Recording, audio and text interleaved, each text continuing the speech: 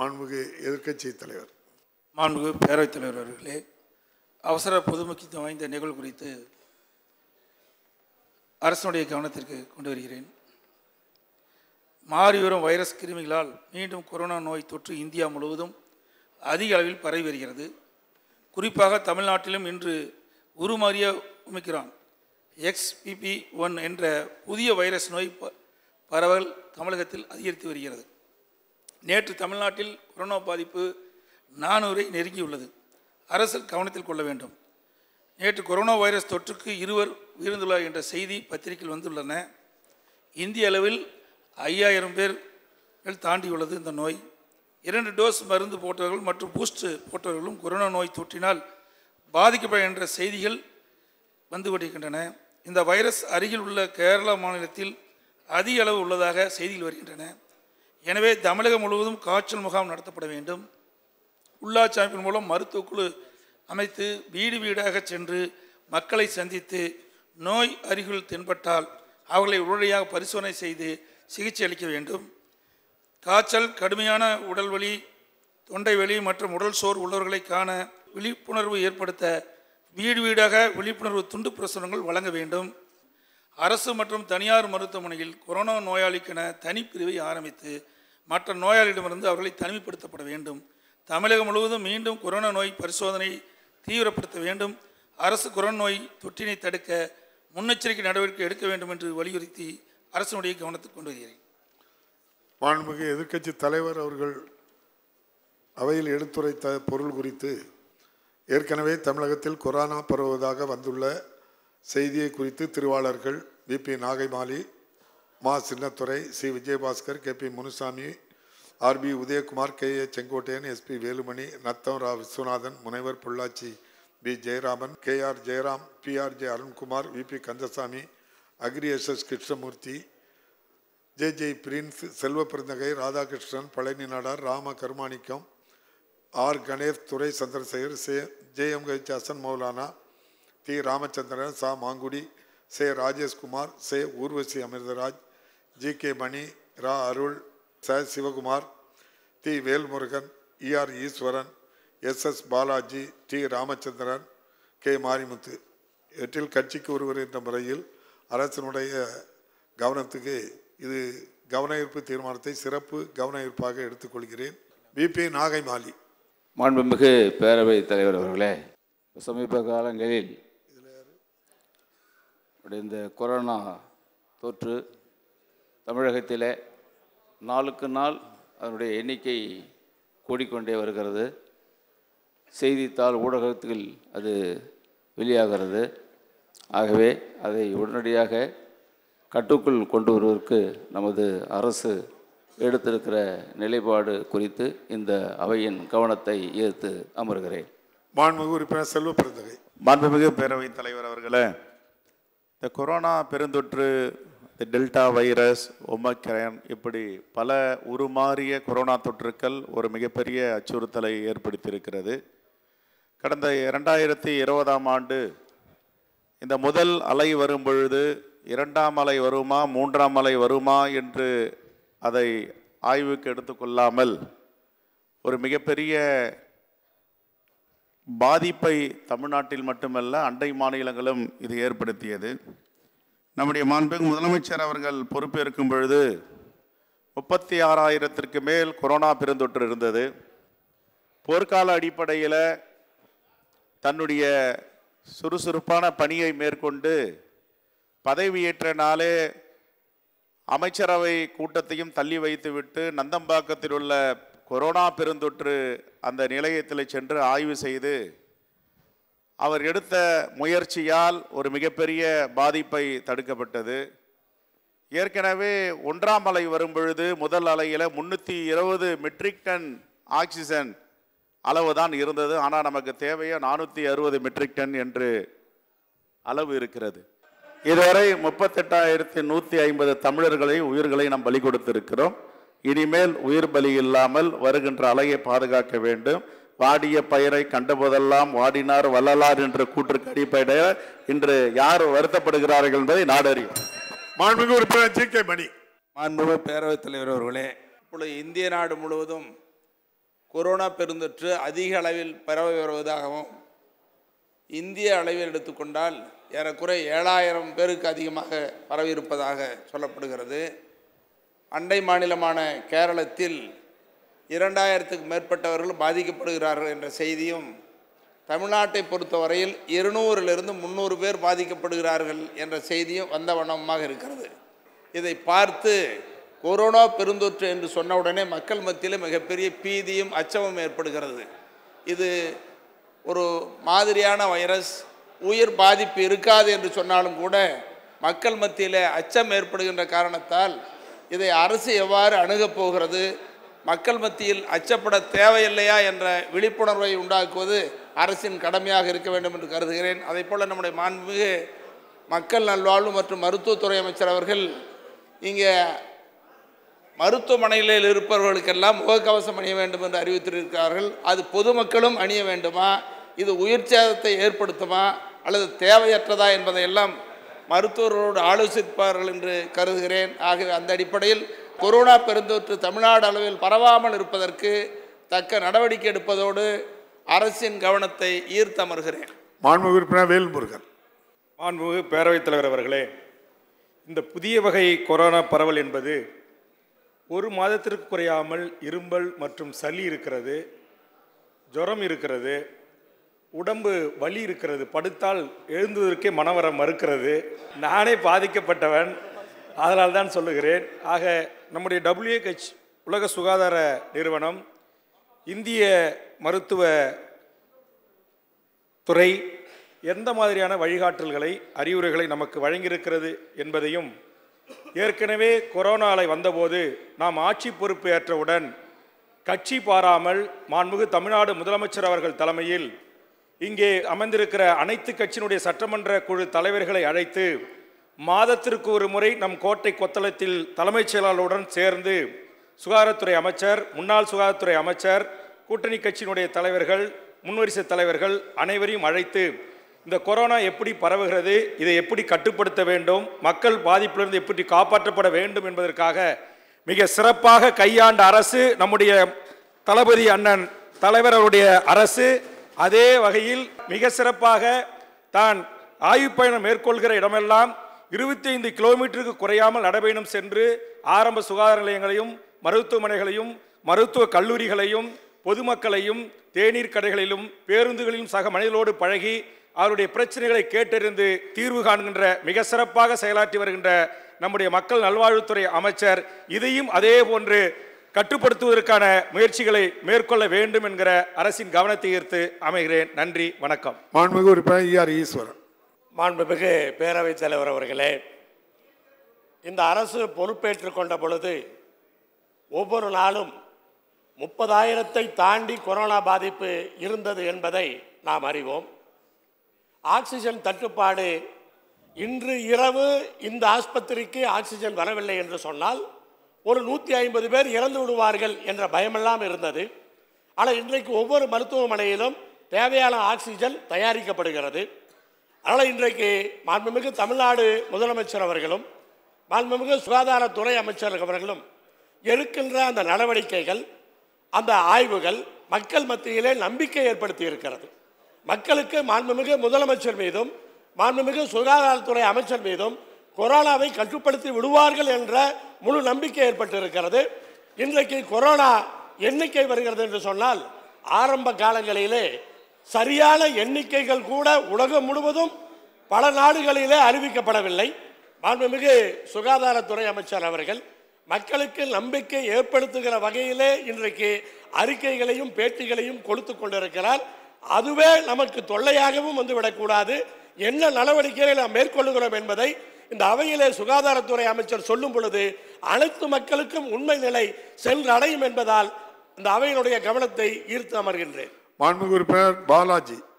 மாண்புமிகு பேரவைத் தலைவர் அவர்களே கொரோனா வைரஸ் எத்தனை உருமாறி வந்தாலும் நிலை தடுமாறாமல் அதை எதிர்கொள்ளக்கூடிய அரசு மாண்புமிகு தமிழ்நாடு முதலமைச்சர் தளபதி தலைமையிலான இந்த அரசு என்றாலும் கூட சில பேர் தேவையற்ற அச்சங்களை மக்கள் மத்தியிலே விதைக்கின்ற சூழலில் இது குறித்து விளக்கத்தை நம்முடைய மருத்துவத்துறை அமைச்சர் அவர்கள் வழங்குவார் என்று சொன்னால் மக்களுக்கு அது அவருடைய ஐயத்தை போக்கும் என்கின்ற வகையில் அரசின் கவனத்தையும் மாண்புமிகு அமைச்சரின் கவனத்தையும் ஈர்த்து அமர்கிறேன். நன்றி. மாண்புமிகு உறுப்பினர் ராமச்சந்திரன். மாண்புமிகு பேரவைத் தலைவர் அவர்களே நாடு முழுவதும் உருமாறிய கொரோனா வைரஸ் வேகமாக பரவி வருகிறது. தமிழ்நாட்டில் இன்றைக்கு நானூரை தொற்று இருக்கிறது இரண்டு பேர் உயிரிழந்திருக்கார்கள் ஆகவே கொரோனா வைரஸை கட்டுப்படுத்துவதற்கான நடவடிக்கைகளை அரசு மேற்கொள்ள வேண்டும் என்று இந்திய கம்யூனிஸ்ட் கட்சியின் சார்பிலே அரசின் கவனத்தை ஈர்த்து அமர்கிறேன். மாண்புமிகு உறுப்பினர் சதன் திருமலைக்குமார். மாண்புமிகு பேரவைத் தலைவர் அவர்களே உருமாறிய கொரோனா வைரஸால் இப்போது காய்ச்சல் வருகிறது என்று கூறுகிறோம். இது ஒரு இன்ஃப்ளூயன்சா டைப் காய்ச்சலாக இருக்கிறது. லேசான காய்ச்சல் கடுமையான உடல் வலி தொண்டை வலி போன்றவை இருக்கும். இது யாரும் வந்து அச்சப்பட தேவையில்லை. கொஞ்சம் உடல் சோர்வு இருக்கும் அச்சப்பட தேவையில்லை. நம்முடைய மாண்புமிகு முதல்வர் அவர்களும் நம்முடைய மாண்புமிகு மக்கள் நல்வாழ்வுத்துறை அமைச்சர் அவர்களும் இதை நல்ல முறையில் கவனிப்பார்கள். நிச்சயமாக அது பரவாது. யாருக்கும் எந்த உயிர் சேதமும் ஏற்படாது என்பதை தெரிவித்து எல்லா நடவடிக்கையும் எடுக்க வேண்டும் என்று கவனத்தை ஈர்த்து அமர்கிறேன். நன்றி வணக்கம். மாண்புமிகு அமைச்சர் அவர்கள். மாண்புமிகு பேரவைத் தலைவர் அவர்களே இன்றைக்கு தமிழ்நாட்டிலும் ஒட்டுமொத்த இந்தியாவிலும் வேகமாக பரவி கொண்டிருக்கிற ஒமிக்ரானின் உருமாற்றமான ஒரு புதிய virus XBB one point one six என்கின்ற ஒரு புதிய வைரஸ். இந்த வைரஸும் பிஏ டூ என்கின்ற இரண்டு வைரஸ்களும் இன்றைக்கு புதிதாக பரவ தொடங்கி இருக்கிறது கடந்த ஒன்றரை மாதத்திற்கு முன்னால் வரை ஒட்டுமொத்த இந்தியாவிலும் நூற்றுக்கும் கீழே ஏன் ஐம்பதுக்கும் கீழே அளவில் தான் கொரோனாவின் பரவல் இருந்தது. தமிழ்நாட்டில் குறைந்தபட்ச பரவலாக ரெண்டு என்கின்ற எண்ணிக்கைக்கும் கடந்த ஒன்றரை மாதத்திற்கு முன்னால் வந்தது. ஆனால் நேற்றைக்கு முன்னூற்றி எண்பத்தி ஆறு என்கின்ற அளவில் உயர்ந்திருப்பது என்பது உண்மை. தமிழ்நாட்டிலே மட்டும்தான் இது இவ்வளவு என்கின்ற அளவில் இல்லை. கடந்த இருபத்தி நாலு மணி நேரத்தில் இந்திய அளவில் ஐயாயிரத்தி எட்நூற்றி எழுபத்தி எட்டு பேருக்கு இந்த பாதிப்பு உருவாகி இருக்கிறது கேரளாவை பொறுத்தவரை ரெண்டாயிரத்தி இரநூத்தி எழுபத்தி மூன்று பேருக்கும் டெல்லியை பொறுத்தவரை நானூற்றி எண்பத்தி நாலு பேருக்கும் இமாச்சல் பிரதேசத்தை பொறுத்தவரை நானூற்றி இருபத்தி ரெண்டு பேருக்கும் அதேபோல் தமிழ்நாட்டில் முன்னூற்றி எண்பத்தி ஆறு என்கின்ற வகையில் இந்த கொரோனா பரவல் என்பது பரவி இருக்கிறது. மாண்புமிகு தமிழ்நாட்டின் முதலமைச்சர் அவர்கள் இந்த கொரோனா பரவல் தொடங்கிய உடனே இந்த துறை சம்பந்தப்பட்ட அலுவலர்களையும் எங்களையும் அழைத்து உடனடியாக எடுக்க வேண்டிய நடவடிக்கைகள் குறித்து அறிவுறுத்தினார்கள். பொதுவாகவே கடந்த ரெண்டு மூன்று நாட்களுக்கு முன்னால் ஏழாம் தேதி ஒன்றிய அரசின் சுகாதாரத்துறை அமைச்சர் மன்சுக் மாண்ட்வியா அவர்கள் ஒரு காணொளி வாயிலாக ஒரு கூட்டத்தை நடத்தினார்கள். அந்த கூட்டத்தில் நாமும் கலந்து கொண்டோம். கூட்டத்தில் தமிழ்நாடு எடுத்துக்கொண்டிருக்கிற இது சம்பந்தமான நடவடிக்கைகள் அங்கே தெளிவுபடுத்தி பேசியவுடன் அவர் வெளிப்படையாக அனைத்து அமைச்சர்கள் கலந்து கொண்ட அந்த கூட்டத்தில் தமிழ்நாட்டின் செயல்பாடுகளை மிக வெகுவாக பாராட்டி மகிழ்ந்தார்கள். காரணம் மாண்புமிகு தமிழ்நாட்டின் முதலமைச்சர் அவர்கள் இந்த கொரோனா பாதிப்பு வந்தவுடனே ஒரு ஆய்வுக் கூட்டத்தை நடத்த சொன்னார்கள். அந்த வகையில் மார்ச் திங்கள் இருபத்தி ஓராம் தேதி ஆய்வுக் கூட்டம் நடத்தப்பட்டது. ஆய்வுக் கூட்டம் நடத்தியதற்கு பிறகு அன்றைக்கு ஒரு முடிவெடுத்து பத்திரிகையாளர் சந்திப்பில் ஒரு செய்தி அறிவித்தோம். வருகிற ஒன்றாம் தேதி முதல் தமிழ்நாட்டில் இருக்கிற துணை சுகாதார நிலையங்கள் ஆரம்ப சுகாதார நிலையங்கள் மேம்படுத்தப்பட்ட ஆரம்ப சுகாதார நிலையங்கள் வட்டார அரசு மருத்துவமனைகள் வட்டம் சாரா அரசு மருத்துவமனைகள் மாவட்ட அரசு மருத்துவமனைகள் மருத்துவக் கல்லூரி மருத்துவமனைகள் இப்படி பதினோராயிரத்தி முன்னூற்றி முப்பத்தி மூன்று மருத்துவ கட்டமைப்புகள் இருக்கிறது. எல்லாவற்றிலும் ஏப்ரல் ஒன்றாம் தேதியிலிருந்து அனைவரும் முகக்கவசம் அணிவது கட்டாயம் என்று அறிவித்திருக்கிறோம். மாண்புமிகு எதிர்க்கட்சி தலைவர் அவர்கள் சொன்னார்கள் மருத்துவமனைகளில் கட்டாயம் என்றால் பொதுமக்கள் அணிந்து கொள்வது கட்டாயமா இல்லையா என்கின்ற வகையில் கேட்டார்கள். பொதுமக்களும் எப்பொழுதும் முகக்கவசம் அணிந்து கொள்வது அவசியம் என்று ஒட்டுமொத்த இந்தியாவிலும் என்றைக்கு இந்த கொரோனா பரவல் தொடங்கியதோ ரெண்டாயிரத்தி இருபதிலிருந்தே பொது சுகாதாரத்துறை ஒரு விதியை நிர்ணயித்து அந்த விதி அமுல்படுத்தப்பட்டிருக்கிறது. ஆனாலும் கூட இந்த ரெண்டாவது அலையின் தீவிரம் மூன்றாவது அலையில் இல்லை. மூன்றாவது அலைக்கு பிறகு யாரும் முகக்கவசங்கள் பெரிதாக அணிந்து கொள்வதில்லை. ஆனால் அணிந்து கொள்ள வேண்டுமா என்றால் அறிவுறுத்தல் என்றால் நிச்சயம் அணிந்து கொள்வது என்பது அனைவருக்குமே நல்லது அவசியம். ஆனால் கட்டாயம் என்று வருகிற போது இது மருத்துவமனைகளில் தான் இந்த பரவல் என்பது கூடுதலாகி கொண்டிருக்கிறது. எனவே மருத்துவமனைகளில் முதல் கட்டமாக நம்முடைய மாண்புமிகு தமிழ்நாட்டின் முதலமைச்சர் அவர்கள் தமிழ்நாட்டில் இருக்கிற அனைத்து மருத்துவமனைகளிலும் இந்த முகக்கவசங்கள் அணிவதை கட்டாயப்படுத்த சொன்னார்கள். அந்த வகையில் கட்டாயப்படுத்தியிருக்கிறோம். ரெண்டாம் தேதி நான் நேரடியாகவே மேட்டுப்பாளையம் அரசு மருத்துவமனைக்கு ஒரு சர்ப்ரைஸ் விசிட் சென்று அந்த மருத்துவமனையில் இருக்கிற உள்நோயாளிகள் புறநோயாளிகள் மருத்துவர்கள் மருத்துவம் சார்ந்த களப்பணியாளர்கள் இந்த முகக்கவசங்களை அணிகிறார்களா என்பதை ஆய்வு செய்தோம். நூறு சதவிகிதம் அணிந்திருந்தார்கள். இப்பொழுது தமிழ்நாட்டில் இருக்கிற எல்லா மருத்துவமனைகளிலும் இது நம்ம இந்த முகக்கவசங்கள் அணிந்து கொண்டிருக்கிறார்கள். இந்த ஏழாம் தேதி நடைபெற்ற அந்த கூட்டத்தில் மாண்புமிகு ஒன்றிய அமைச்சர் சொன்னது பத்து மற்றும் பதினோராம் தேதிகளில் மாக்ரில் என்று சொல்லுகிற வகையில் ஒரு மாதிரி பயிற்சி இந்தியா முழுமைக்கும் நடத்தலாம் என்று அறிவித்தார்கள். அந்த வகையில் நேற்றைக்கு ராஜீவ்காந்தி அரசு பொது மருத்துவமனையில் ஒரு மாக்ரில் செய்தோம். அந்த மாக்ரில் நான் இங்கே கலந்து கொண்டேன் நானும் துறையின் செயலாளரும் இங்கே கலந்து கொண்டோம். அதே நேரத்தில் இன்றைக்கு தமிழ்நாடு முழுவதிலும் நேற்றைக்கும் இன்றைக்கும் அனைத்து மாவட்ட ஆட்சித்தலைவர்களும் அந்தந்த மாவட்டங்களில் இருக்கிற மருத்துவமனைகளில் மாக்டில் பயிற்சியை செய்து கொண்டிருக்கிறார்கள் மாதிரி பயிற்சியை செய்து கொண்டிருக்கிறார்கள். அதாவது அந்தந்த மருத்துவமனைகளில் எவ்வளவு படுக்கைகள் இருக்கிறது எவ்வளவு ஆக்சிஜன் வசதிகள் இருக்கிறது எந்த அளவுக்கான அவசர ஊர்திகள் இருக்கிறது மருந்துகளின் கையிருப்பு எவ்வளவு இருக்கிறது போன்ற பல்வேறு விஷயங்களை மாவட்ட ஆட்சித்தலைவர்கள் இன்றைக்கு ஆய்வு செய்து கொண்டிருக்கிறார்கள். தமிழ்நாட்டை பொறுத்தவரை எனக்கு முன்னால் பேசிய அனைத்து கட்சி தலைவர்களும் எடுத்து சொன்னதைப் போல ரெண்டாயிரத்தி இருபத்தி ஒன்று மே திங்கள் ஏழாம் தேதி மாண்புமிகு தமிழ்நாட்டின் முதலமைச்சராக வணக்கத்திற்குரிய தளபதி அவர்கள் பொறுப்பேற்கிற போது தமிழ்நாட்டில் அன்றைய அந்த கொரோனாவின் பாதிப்பு என்பது இருபத்தி ஆறாயிரத்தி நானூற்றி அறுபத்தி ஐந்தாக இருந்தது. ஒரு பத்து நாட்கள் கழித்து மே இருபதாம் தேதி முப்பத்தி ஆறாயிரத்தி நூற்றி எண்பத்தி நாலு என்கின்ற அளவிலே உயர்ந்தது. அந்த ரெண்டாம் அலையில் மட்டும் நாம் கொரோனாவினால் பாதிக்கப்பட்டவர்களுடைய எண்ணிக்கை பதினேழு லட்சத்தி எட்டாயிரத்தி ஐம்பத்தி ஐந்து பேர். ரெண்டாவது அலையில் கொரோனாவினால் பாதிக்கப்பட்டவர்கள் பதினேழு லட்சத்தி எட்டாயிரத்தி ஐநூற்றி ஐம்பது பேர். அப்பொழுது நமக்கான இந்த ஆக்சிஜன் கையிருப்பு என்பது வெறும் இருநூத்தி முப்பது மெட்ரிக் டன் அளவிலே இருந்தது. மாண்புமிகு தமிழ்நாட்டின் முதலமைச்சர் அவர்கள் அன்றைய ஆக்சிஜன் அவசியத்தை வ- அறிந்து ஒன்றிய அரசிடம் பேசி அதோடு மட்டுமில்லாமல் மாநில அரசின் சார்பிலும் எடுத்த அதிரடியான நடவடிக்கைகளின் மூலம் இன்றைக்கு தமிழ்நாட்டில் இருக்கிற ஆக்சிஜன் கையிருப்பை பொறுத்தவரை இருபத்தி நாலாயிரத்தி அறுபத்தோரு கான்சன்ட்ரேட்டர்ஸ் நூற்றி முப்பது ஜெனரேட்டர் இரநூத்தி அறுபது பிஎஸ்ஏ பிளான்ட்ஸ் அனைத்தை காட்டிலும் ஒரு மகிழ்ச்சியான விஷயம். இரநூத்தி முப்பது மெட்ரிக் டன் அளவுக்கு மட்டுமே இருந்த ஆக்சிஜன் இன்றைக்கு எவ்வளவு கையிருப்பில் வைத்துக் கொள்ளலாம் என்றால் ரெண்டாயிரத்தி அறுபத்தி ஏழு மெட்ரிக் டன் அளவுக்கு கையிருப்பை வைத்துக் கொள்வதற்குரிய வசதியை நம்முடைய மாண்புமிகு தமிழ்நாட்டின் முதலமைச்சர் அவர்கள் ஏற்படுத்தி தந்திருக்கிறார்கள். அதோடு மட்டுமல்ல அன்றைக்கு நம்முடைய மாண்புமிகு தமிழ்நாட்டின் முதலமைச்சர் அவர்கள் படுக்கைகளின் அவசியத்தை கருதி அன்றைக்கு அரசின் சார்பில் தொண்ணூற்றி ஆறாயிரத்தி நூற்றி பத்தொன்பது படுக்கைகளையும் தனியார் மருத்துவமனைகளின் சார்பில் ஐம்பத்தி நாலாயிரத்தி நானூற்றி தொண்ணூத்தொன்பது படுக்கைகளும் ஒட்டுமொத்தமாக ஒரு லட்சத்தி நாற்பத்தி எட்டாயிரத்தி அறுநூற்றி பதினெட்டு படுக்கைகள் அன்றைக்கு தயார் செய்து ரெண்டாவது அலையின் தாக்கத்தை வெகுவாக குறைத்து அதிலிருந்து நாம் மீண்டு வந்தோம். இன்றைக்கு இப்பொழுது நம்மிடையே இருக்கிற படுக்கைகளின் எண்ணிக்கை தனியார் மற்றும் அரசு மருத்துவமனைகளில் இருக்கிற கொரோனாவுக்கான படுக்கைகளின் எண்ணிக்கை அறுபத்தி நாலாயிரத்தி இரநூத்தி எண்பத்தி ஒன்று நீங்கள் கேட்கலாம் ஒரு லட்சத்தி நாற்பத்தி எட்டாயிரம் ரெண்டாவது அலையின் போது இருந்ததே. இப்பொழுது அறுபத்தி நாலாயிரம் இருக்கிறதே சமாளிக்க முடியுமா என்று? நிச்சயம் சமாளிக்க முடியும். மீண்டும் நினைத்தால் ஒரே இருபத்தி நாலு மணி நேரத்தில் இந்த ஒரு லட்சத்தி நாற்பத்தி எட்டாயிரம் படுக்கைகளை மீண்டும் தமிழகத்தில் கொண்டு வர முடியும். அதற்கான ஏற்பாட்டை நம்முடைய மாண்புமிகு தமிழ்நாட்டின் முதலமைச்சர்கள் செய்திருக்கிறார்கள். ஆர்டிபிசிஆர் பரிசோதனைகளை பொறுத்தவரை தமிழ்நாட்டில் இன்றைக்கு முன்னூற்றி நாற்பத்தி ரெண்டு அரசு மற்றும் தனியார் மருத்துவமனைகள் மூலம் செய்ய இயலும் மூன்று லட்சம் பேருக்கு ஒவ்வொரு நாளும் இன்றைக்கு செய்யலாம். அது இப்பொழுது வந்திருக்கிற இந்த மூன்றாவது அலை ஒமிக்ரான் நான் ஏற்கனவே சொன்னேன். XBB one point one six என்கின்ற இந்த பாதிப்பு என்பது எனக்கு முன்னால் பேசியவர்கள் சொன்னதைப் போல இது உயிர் பறிக்கும் பாதிப்பாக இல்லை. இது மிதமான தொற்று என்கின்ற அளவில் ஒரு தொண்டை வலி சளி இருமல் காய்ச்சல் உடல் வலி என்கின்ற அளவிலே தான் இருந்து கொண்டிருக்கிறது. இதனால் யாரும் மருத்துவமனைகளில் ஆக்சிஜன் வசதி வேண்டும் என்கின்ற வகையிலேயோ அதிதீவிர சிகிச்சை பிரிவுக்கு வர வேண்டும் என்கின்ற நிலையிலேயோ யாரும் வரவில்லை என்பதை நாம் அனைவருமே உணர்வோம். இதே மூன்றாவது அலை நாம் ஒன்றை சந்தித்தோம். ரெண்டாயிரத்தி இருபத்தி ஒன்று டிசம்பரில் தொடங்கி ரெண்டாயிரத்தி இருபத்தி ரெண்டு பிப்ரவரி வரை ஒரு மூன்று மாத காலம் ஒரு அலை வந்தது அது மூன்றாவது அலை.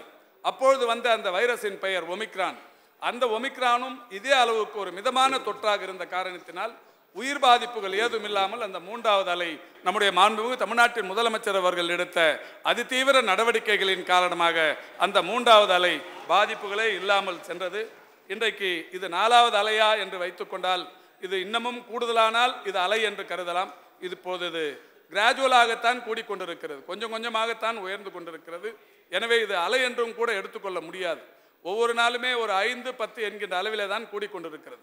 கிளஸ்டர் என்கின்ற வகையில் பாதிப்பு இருந்தால் அது அலை என்று எடுத்துக்கொள்ளலாம் ஒரு பள்ளியில் ஒருவருக்கு பாதித்து ஒரே நேரத்தில் ஒரு நூறு பேர் இரநூறு பேர் பாதிக்கப்பட்டார்கள் என்றால் கிளஸ்டர் ஒரு கிராமத்தில் ஒருவருக்கு பாதிப்பு ஏற்பட்டு அவரின் மூலம் இந்த கிராமத்தில் இருக்கிற மொத்த பேரும் பாதிக்கப்பட்டார்கள் என்றால் கிளஸ்டர் இது இல்லை. இண்டிவிஜுவல் பாதிப்பு என்கின்ற வகையிலே தான் இது இருந்து கொண்டிருக்கிறது. எனவே தான் இன்றைக்கு மருத்துவமனைகளில் முகக்கவசம் கட்டாயம் என்று அறிவித்திருக்கிறோம். என்றாலும் மாண்புமிகு தமிழ்நாட்டின் முதலமைச்சர் அவர்கள் நேற்றைக்கு கூட எங்களிடத்தில் சொன்னது இந்த எண்ணிக்கை பெருகும் பட்சத்தில் தமிழ்நாடு முழுவதிலும் இந்த முகக்கவசங்கள் அணிவதை பொதுவாக பொது இடங்களில் மக்கள் கூடுகிற இடங்களில் சமுதாய நிகழ்ச்சிகள் சமூக நிகழ்ச்சிகள் அரசியல் நிகழ்வுகள் இப்படி பெரிய அளவில் மக்கள் கூடுகிற இடங்களில் முகக்கவசங்கள் அணிவதை இன்னமும் கொஞ்சம் கூடுகிற போது இதே தமிழ்நாட்டில் ஒரு ஐநூறை தாண்டுகிற போது அல்லது ஆயிரத்தை தாண்டுகிற போது அந்த மாதிரியான ஒரு கட்டாய நிலையை கொண்டு வரலாம் என்று அறிவித்திருக்கிறார்கள். நிச்சயம் இப்பொழுது அந்த பெரிய அளவிலான பதட்டம் இல்லை என்பதை நான் இங்கே இருக்கிற அனைத்து சட்டமன்ற உறுப்பினர்களுக்கும் தெரிவித்துக் கொள்கின்றேன். மாண்புமிகு எதிர்க்கட்சி தலைவர் அவர்கள் இறப்பு குறித்து பேசினார்கள். அவர் நேற்றைக்கு இரண்டு இறப்புகள் என்றால் நேற்றைக்கு ஒன்று செங்கல்பட்டில் ஒரு அறுபத்தி மூன்று வயது பெண்மணி ஒருவர் இறந்திருக்கிறார். இதுவரை கடந்த ஒரு மாதத்தில் ஒரு ஐந்து இறப்புகள் கொரோனா பாதிப்பு என்று குறிப்பிடப்பட்டிருக்கிறது. இது இன்சிடென்டல் கொரோனா டெத் என்று தான் இன்றைக்கு அறிவிக்கப்பட்டிருக்கிறது. கொரோனா பாதிப்பு என்றால் நேரடியாகவே கொரோனா பாதிப்புக்குள்ளாகி மருத்துவமனையில் அனுமதிக்கப்பட்டு அதனால் ஏற்பட்ட இறப்புகள் அல்ல. திருப்பூர் மாவட்டம் வெள்ளக்கோயிலைச் சேர்ந்த ஒரு எண்பத்தி ரெண்டு வயது முதியவர் ஒரு அதி மிக நீண்ட நாட்களாக இருந்த சர்க்கரை நோய் அதன வயது முதிர்வு இதனால் ஏற்பட்ட பாதிப்பு அவர் இறக்கும் தருவாயில் அவருக்கு சுவாப் எடுத்த போது அவருக்கு கொரோனா இருப்பது கண்டறியப்பட்டது. அதேபோல் தூத்துக்குடியைச் சேர்ந்த ஒரு ஐம்பத்தி நாலு வயது நபர் நுரையீரல் புற்றுநோயினால் பாதிக்கப்பட்டு மருத்துவமனையில் அனுமதிக்கப்பட்டு நீண்ட நாட்கள் சிகிச்சைக்கு பிறகு அவர் இறக்கும் தருவாயில் அவருக்கு எடுக்கப்பட்ட ஆர்டிபிசிஆர் பரிசோதனையில் அவருக்கு கொரோனா இருப்பது கண்டறியப்பட்டது. அதேபோல் கோயம்புத்தூர் பிஎன் புதூரைச் சேர்ந்த ஐம்பத்தி ஆறு வயது பெண்மணி நீண்ட நாள் சர்க்கரை நோய் இரத்த கொதிப்பு போன்ற பல்வேறு நோய்களினால் பாதிக்கப்பட்டு மிக மோசமான நிலையில் மருத்துவமனையில் அனுமதிக்கப்பட்டதால் அவருக்கும் இந்த கொரோனா பாதிப்பு இருப்பது கண்டறியப்பட்டு அவரும் இறந்து போனார். இதோடு மட்டுமல்ல திருப்பூர் அடுப்பர் பாளையத்தைச் சேர்ந்த ஒரு அறுபது வயது இரத்த கொதிப்பு நோயால் அவதிப்பட்டு வந்தவர். அது மட்டுமல்லாது மூளையில் இரத்த குழாய் அடைப்பு ஏற்பட்டும் அந்த நிலையில் அவரும் இறந்து போனார். இந்த வகையில் இன்சிடென்டல் கொரோனா டெத் என்கின்ற வகையில்தான் இது கணக்கில் எடுத்துக்கொள்ள முடியும். ஆனாலும் இவர்கள் இறந்தவர்கள் எதிர்காலத்தில் நம்முடைய மாண்புமிகு தமிழ்நாட்டின் முதலமைச்சர் அவர்கள் ஏற்கனவே அறிவித்திருக்கிற இந்த உதவித்தொகை கோரி வருகிற போது பிரச்சனை வந்துவிடக்கூடாது என்பதால் இவை எல்லாமே கொரோனா டெத் என்று தான் இன்றைக்கு நாம் வெளிப்படையாக அறிவித்துக் கொண்டிருக்கிறோம். மாண்புமிகு தமிழ்நாட்டின் முதலமைச்சர் அவர்கள் எதையும் மிகவும் டிரான்ஸ்பரண்டாக வெளிப்படையாக அறிவித்து அது மக்களுக்கு அறிவுறுத்திட வேண்டும் என்று சொல்லியிருக்கிறார்கள். அந்த வகையில் இந்த இன்சிடென்டல் கொரோனா டெத்தை கூட கொரோனா இறப்புகள் என்று அறிவித்திருக்கிறோம். இதுவரை ஐம்பத்தி ஐந்தாயிரத்திற்கும் மேற்பட்டவர்கள் தமிழ்நாட்டில் இந்த கொரோனா நிதி உதவியை பெற்றிருக்கிறார்கள். இப்படி கொரோனாவை பொறுத்தவரை கட்டுப்படுத்த கொரோனா என்பது ரெண்டாயிரத்தி பத்தொன்பதில் இறுதியில் தொடங்கி corona alpha beta delta delta plus Omicron gamma kappa என்று ஏராளமான பெயர்களில் உருமாறி கொண்டிருக்கிறது. அது எப்படி வந்தாலும் தமிழ்நாட்டின் முதலமைச்சர் அவர்கள் தமிழர்களை காப்பார் தமிழகத்தை காப்பார் அதற்குரிய கட்டமைப்புகள் தயாராக இருக்கிறது என்பதை நாம் இங்கே மகிழ்ச்சியோடு எடுத்து கூறி எனவே இது ஒரு பெரிய அளவில் பதட்டப்பட வேண்டியதில்லை. ஆனாலும் நாம் எச்சரிக்கையாக இருப்பது என்பது அவசியம். அதாவது இணை நோய் உள்ளவர்கள் கோமார்பிடிட்டிஸ் என்று சொல்லக்கூடிய இணை நோய் உள்ளவர்கள் எந்த பாதிப்பு வந்தாலுமே இறப்பை நாம் சந்திக்க நேரிடும். எனவே இணை நோய் உள்ளவர்கள் கொஞ்சம் ஜாக்கிரதையாக இருப்பது என்பதும் முன்னெச்சரிக்கை நடவடிக்கைகளை குறிப்பாக அரசின் விதிமுறைகளை கடைபிடிப்பது என்பதும் அவசியம் என்பதையும் தெரிவித்து விடைபெறுகிறேன். தங்களின் வாயிலாக இந்த கவன ஈர்ப்பு தீர்மானத்திற்கு பதில் கூறி விடைபெறுகிறேன்.